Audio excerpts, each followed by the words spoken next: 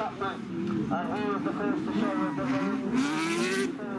And it's an awesome little team, it's a very strong team. Uh, now claims to be, is leading the chase over early race leader. And claims race leadership is Nigel Beard. In Gloucester Industrial 87 and moves on to take race from Bill Chapman.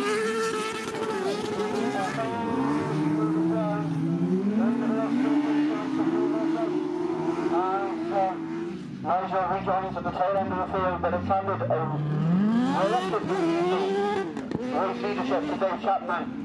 In the Peter Owens is in that second spot. In the 29 inch red.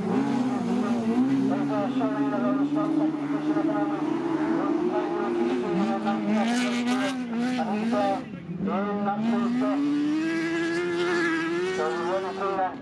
Uh, Forest Dean machines in their split. With the Charlie machine still there in that second spot, 13 of it.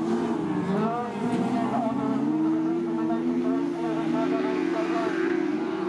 moving in on the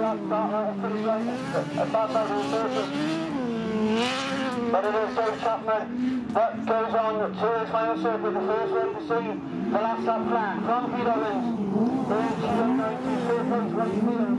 In 99, the first of the field, showing. Back in that first start, really through the little bit of smoke. Coming from the rear, orange, left, racing off McKinney. So through the second turn to see that hovering checkered flag.